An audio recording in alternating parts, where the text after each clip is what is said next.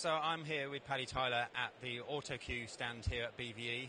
Uh, Paddy's going to give us an overview of some of the things they're showing and, and then talk about some of the server products and other items of interest. Paddy, what are you showing here at BVE? So we've got um, a sort of cross section of our product range, Yep. Um, starting with the, the starter series teleprompters, which are a sort of introductory low-cost teleprompter range, uh, running through to our broadcast monitor series, and then this uh, corner of the stand is a sort of complete new studio automation area where we're running through uh, all the different elements that you need for a complete production setup. So obviously you're well known for your AutoCue products and your prompters.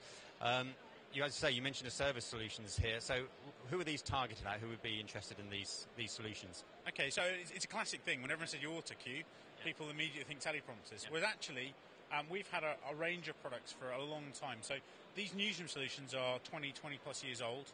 Um, we've had video service for five years, automation, MAM, scripting, um, archive, a whole complete um, production solution.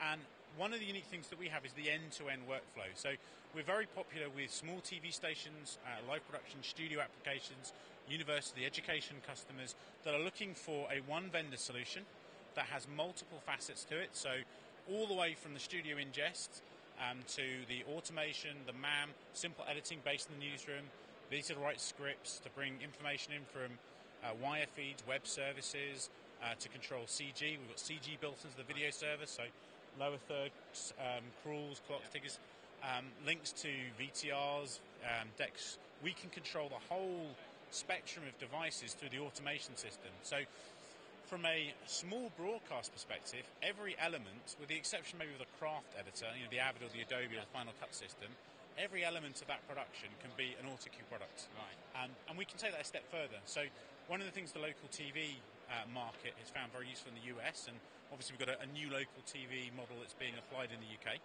Um, one of the things they find very useful is the links to the automation from the teleprompting operation. So typically, when you have an automation setup, you can either have a semi-automated system Yep. or a completely automated system.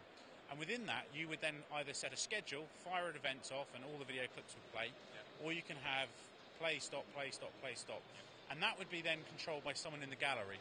What our systems allow you to do is using the teleprompting operation and the speed of the scroll, you can set your automation events. So your video clips, your graphics, your audio can be fired by a trigger point in the script, which means that then the presenter is using a foot controller or a hand controller.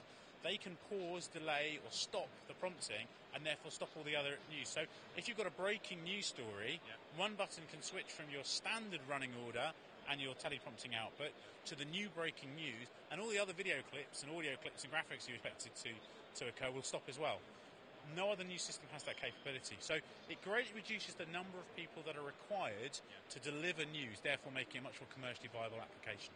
Sounds like a amazing system, and the- just to be able to hand the control over to uh, the presenter to go at their pace and their speed, and as you say, when other uh, events come in, they can they can pause the uh, pause the process.